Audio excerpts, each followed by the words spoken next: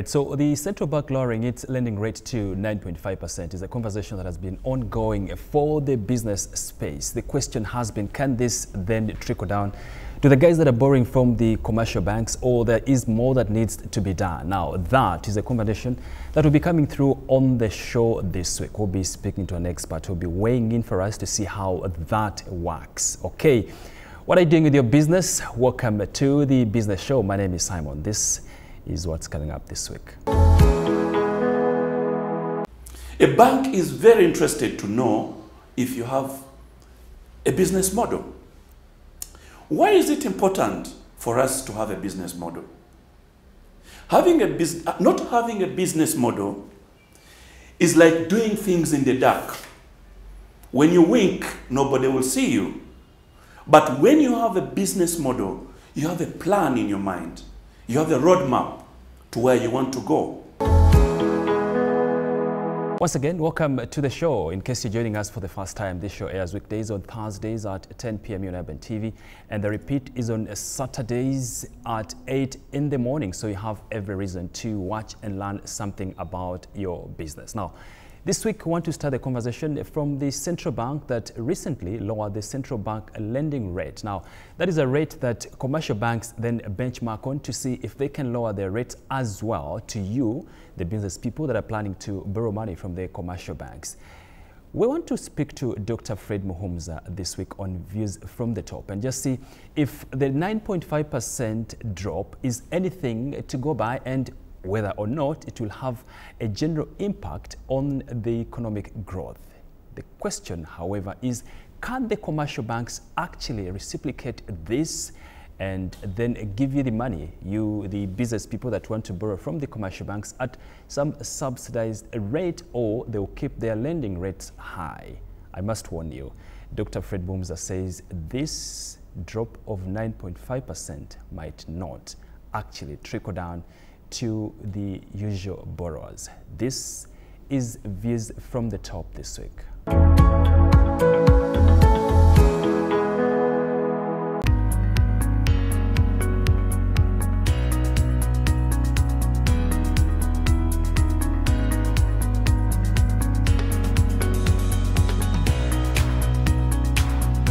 My name is Dr. Fred Muhumuza, uh, based at the Makerere University Business School the director at Economic Forum and lecturer in the Department of Economics.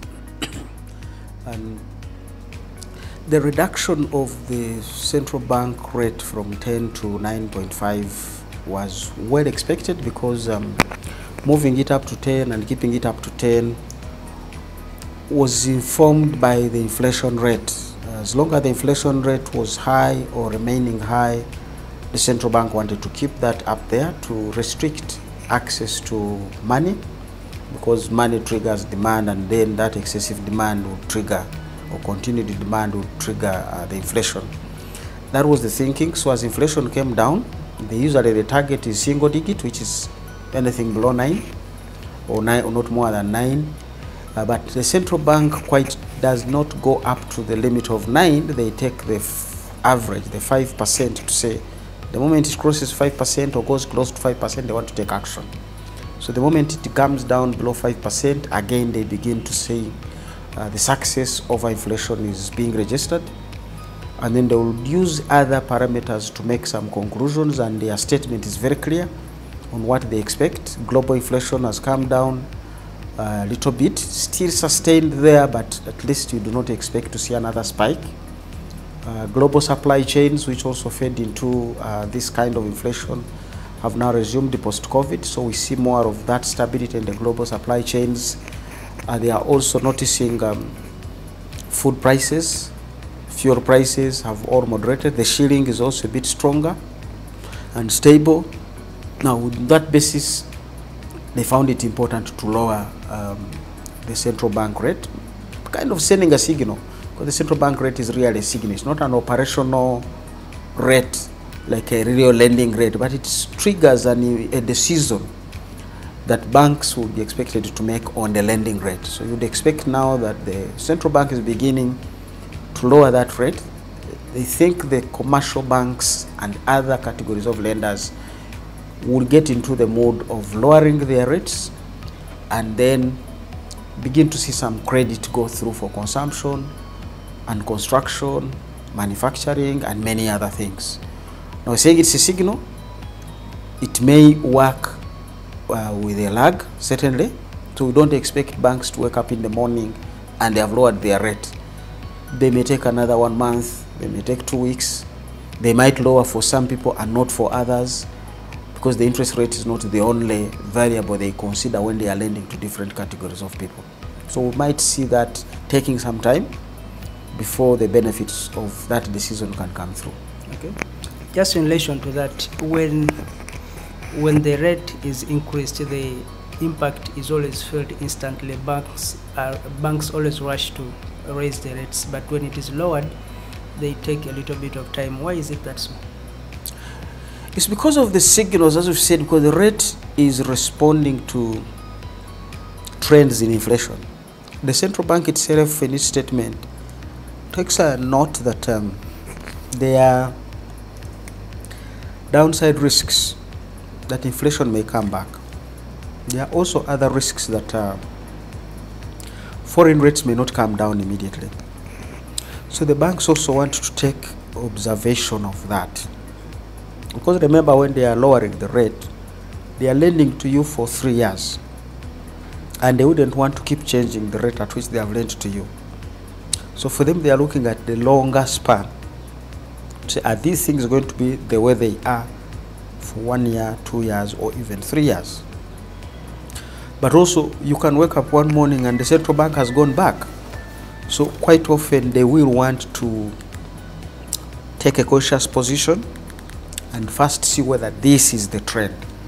So the central bank may have to sustain the 9.5 for another month as they are still watching to see whether that is the trend. Uh, but also in terms of quick response, the quick response is what the central bank wants to trigger. When inflation is going up, you want to immediately get that response. But when inflation is going down, many parameters come into play. So the banks are also gauging. Remember, some of the borrowers, their portfolios and their business trends have already been damaged by the increase in interest rates. So they may not be as strong as business entities as they were 12 months ago. So you also want to gauge, because some of them, are the central bank is indicating, the purpose of raising the central bank rate was to reduce demand. When you reduce demand, it literally means some of these businesses are losing out on customers, they are losing out on revenues, they are going to struggle. Some of them are going to have other debts, possibly acquired from higher lenders, money lenders, or all, all the other alternatives. So you don't want to immediately lower your rate when the business you are lending to has become more risky uh, compared to what it was before the central bank rate went up. So the banks now begin to factor in so many other parameters before they can make that decision. And as we've said, they don't lower for everybody. They lower gradually and say, this is a prime borrower. This is a person in a sector that is not as risky as the other one. So generally, we might see a, a gradual decline in those rates. It wasn't only the CBR that was lowered, even the cash reserve requirement, which gives banks the real money to, to lend. And the reasoning is that they want to stimulate growth in the, in the, in the activity. With these two things being lowered, these two parameters being lowered, do you see private sector credit picking up to stimulate the growth and economic activity and economic activity? Yeah, the, the, quite often the central bank would use uh, multiple um, parameters. One apart besides the central bank rate, they will use the cash reserve requirement, which is basically saying how much cash does the bank have and how much of that cash should be reserved.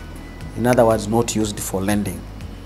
Now, this has been quite a big hindrance because if you're looking at 12%, if a bank has 10 billion and you're telling it don't lend 1.2 billion of that, you're really holding them onto a big liquidity component that they would have made some money out of. And remember, to mobilize this liquidity, banks are paying interest. Some of them to the tune of the same 12, 12% or 13%. Now, to tell them don't lend that money means they're not going to make any money out of it, and yet they have spent money to get that reserve on that deposit. So the central bank is sending that signal as well to say, well, you can now lend more of that money that you have had. Positive, as we've said, but having the money, the banks are again more conscious if they do not find potential borrowers of their money. A bank should not just lend because it has the money. The bank should be able to say what are the risks of lending to this particular investor uh, before I can lend to them. Do they have a market for their product? Do they have the raw material for their product? Is there anything that can disrupt them? Is their supply chain stable? So they bring in all those considerations. So much as they now have liberty to lend a little bit more in terms of the liquidity at their disposal, they may again not take the decision. So we're not likely to see private sector credit increase significantly in the short term, or maybe the next one or two months, possibly even up to three months. The banks would rather hold on to the liquidity than simply lend it out because the central bank has let that window. But also now we might begin to observe other aspects that have come into play. If we do not get sufficient revenues from taxes, if we do not generate sufficient revenues from our government partners, the government may come in and increase, reverse its position, or at least relax it a bit of saying, I will not borrow domestically and begin to look for resources in the domestic market. Now, it is possible that these same uh, financial institutions may actually buy into that appetite of the government trying to borrow more in the domestic market. So we might see uh, borrowing by government increasing, whereas private sector credit is not increasing. We'll need to watch the space. One or two months, we'll be able to get a picture. Okay, and just just Out there, of course, um, economics is about expectations. So a lot of decisions are made uh, based on assumptions, as they say. So the central bank might say, I've lowered my rate, I've allowed you more liquidity by reducing the cash reserve requirement, I expect you to lend. That's an expectation on the central bank side. But the commercial banks are really the real actors. They will look at other things. I don't want to lend to a person who will default because that also will raise non-performing assets. That you have non-performing loans, the loans you lent out are not coming back. That can undermine the asset quality of the commercial banks. And that's what they have hinted on. We have seen a likelihood of deterioration, a risk of deterioration of the asset quality, and the main asset of commercial banks is the loans they give out. But their quality is based on the risk that actually they may not be paid back. So you might have big loans. If there is a big probability that people will not pay back, the quality of that asset is downgraded. And for that, the banks would be very conscious to see I'm lending to who, what are they going to do? Are they the type that may struggle to pay me back? And we're saying that can happen because of the history we've gone through. These institutions were subjected to costly borrowing because the rate has been going up. They were subjected to reduced demand because that was part of the government objective.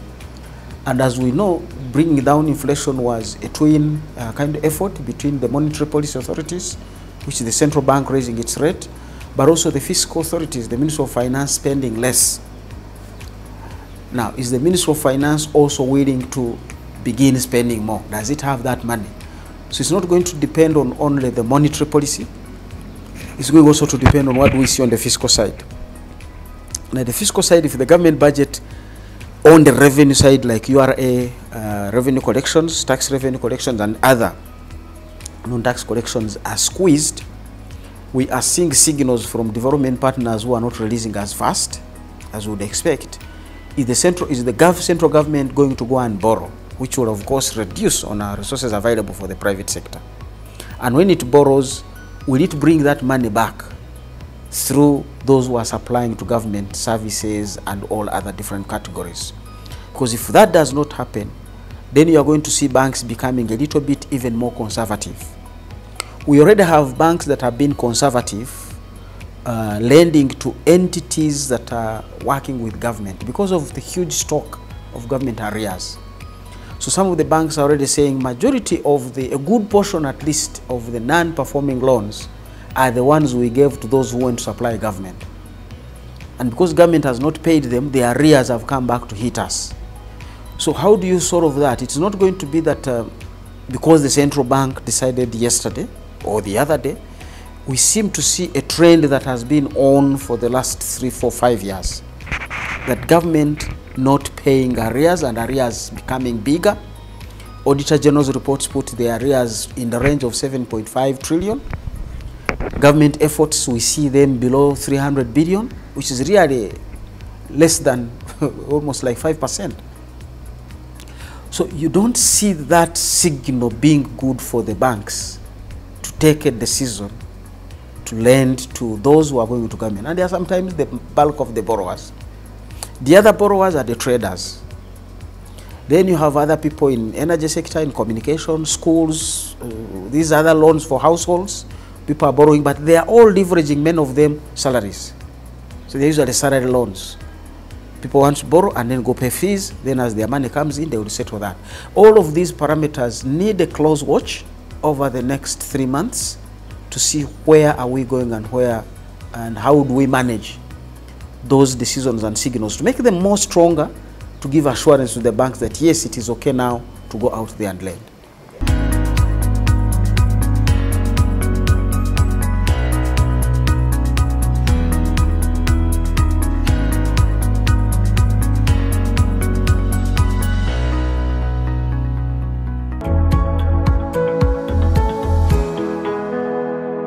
So there you have it. For as long as there is no hand, I should be saying an iron hand, yeah, that should be forcing commercial banks to lower their rates, then probably those of you that are looking to borrow will keep hanging in there, hoping that more keeps happening from the central bank. Maybe we keep dropping to about what?